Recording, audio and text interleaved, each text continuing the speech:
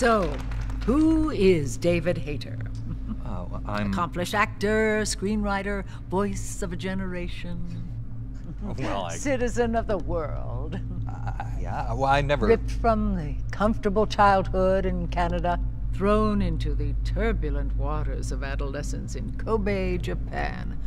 How did you stay afloat? You mean. You mean in high school? Uh, well, my dad got uh, transferred overseas, and um, it was a really excellent experience, actually. I, I I was really grateful for it. Grateful. What is your biggest secret, David? Pardon me? You can tell us.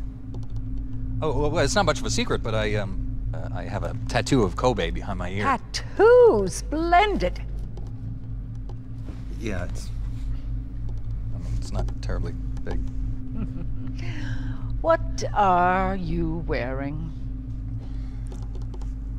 I. What do you mean? Why are you here? Oh, well, I was hoping to promote my new movie. I- I'm just coming off of the set. No, David Hayter. Why here, wearing an eye patch? Oh, the eye patch. Uh, this is pretty cool, actually.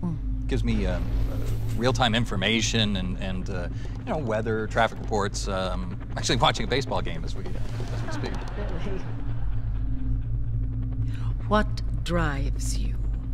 What are your dreams? Well, you know, I'd have to say my dream project. Let your dreams drive you. Ah, a message of hope to today's young people from David Hayter. Mm.